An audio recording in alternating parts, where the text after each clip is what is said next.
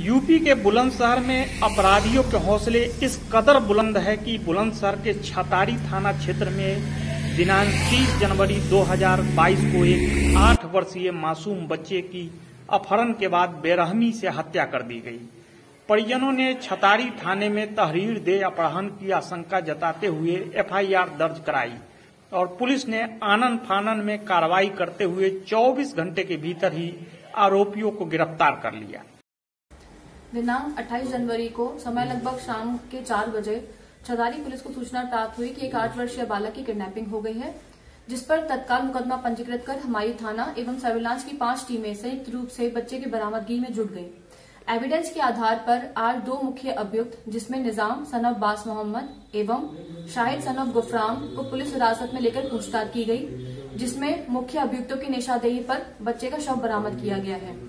ये दोनों मुख्य अभियुक्त वादी के यहाँ कंपाउंडर का काम करते थे। दो साल पहले वादी ने इन्हें, इनकी की गई गलतियों की वजह से काम से निकाल दिया था। वादी का काम बहुत अच्छा चल रहा था। इसी कारण कंपाउंडर की नौकरी से निकालने की वजह से और वादी का काम अच्छा चलने की वजह से ये इससे रंजिश मानते थे। पूछताछ में अन्य तथ्य भी अन्य तथ्यों पर भी गंभीरता से जाँच की जा रही है, जिससे कोई भी निर्दोष व्यक्ति जेल ना जाए एवं कोई भी जो दोषी व्यक्ति है, उन सबके खिलाफ सभी एविडेंस कलेक्ट कर आवश्यक विधिक कार्रवाई की जा सके।